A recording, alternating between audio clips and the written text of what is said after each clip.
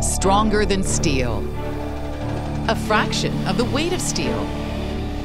Reduces dead loads. Better concrete confinement. V-Rod is used to reinforce slurry walls or caissons in soft eye areas.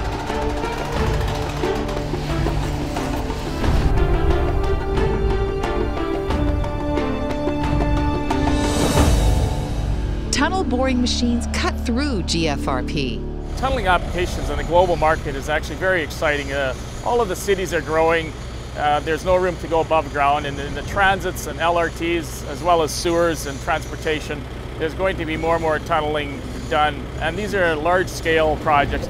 The only manufacturer in the world to produce all three grades of GFRP 40, 50, and 60 GPa.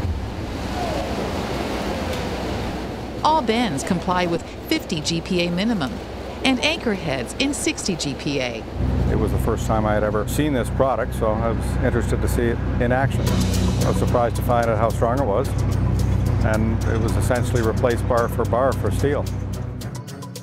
The bars are a quarter of the weight of steel. So installation crews will be able to do the install, do, do the placement with less fatigue, and the, the whole process will go much easier. And the process also goes much faster. Reduced worker fatigue means fewer worksite injuries, and fast track schedules can be maintained. Bar certs verify compliance with high QC requirements. We have different grades of GFRP according to the CSA 807, so what we're able to do is actually, in terms of design, working with the consultants to optimize the design using the appropriate grade depending on the soil's condition. They've developed, for example, continuous spiral reinforcing with the GFRP, which most of the other suppliers only do circular ties.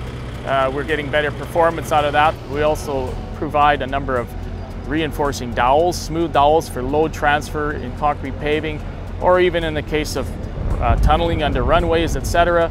Now we have a, a ready-made solution using V-Rod. I think that uh, more and more projects are going to be reinforced with fiberglass. I see already the changes within the, uh, the Ministry of Transportation here in the province of Ontario where they've already outright banned the use of epoxy coated, which was their first line of defense against corrosion. Now it's fiberglass.